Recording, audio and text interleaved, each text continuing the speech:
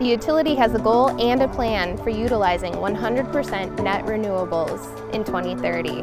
That would include our energy from the Westside Solar Project, hydro at our Lake Zumbro facility, and then wind generation as well.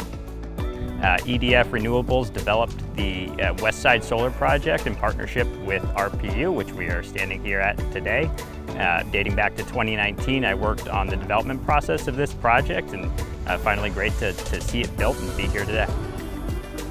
I think it's a great investment to continue the development of solar and adding more solar sites because it it's one of the safest methods of creating power for communities. EDF has uh, a breadth of experience across Minnesota working on projects just like the one we're standing next to today. So the one we're standing next to today is a, uh, about a 10 megawatt AC, 13 megawatt DC solar project. There's I think 30,900 and some panels out here on this whole project.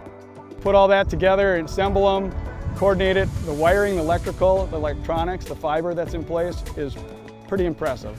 We actually did the underground construction for the uh, solar field and we went um, from the site here to the north all the way up to the hydro pillar and then we went from the solar field all the way up to 7th Street um, to the south. And combination of those two runs were, you know, probably three, three miles or so and it was all installed underground.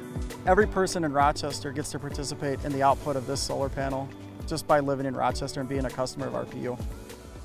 The output of this solar field will connect directly to one of our substations that serves the customers of Rochester Public Utilities.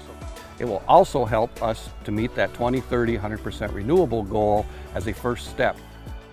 During the typically the most expensive times of the day where RPU has to buy the most expensive power, this output will be online and providing its peak output. So everybody with, that lives in Rochester can take part in knowing that their carbon footprint is going down because a municipal utility was able to put solar panels in.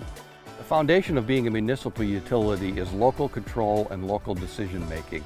And this is a prime example of us as a municipal listening to our local customers and coming up with a plan that satisfies those wants, needs, and desires. We live here, we work here, and we realize that the decisions we're making now don't just impact us today, but our families and our community for generations in the future.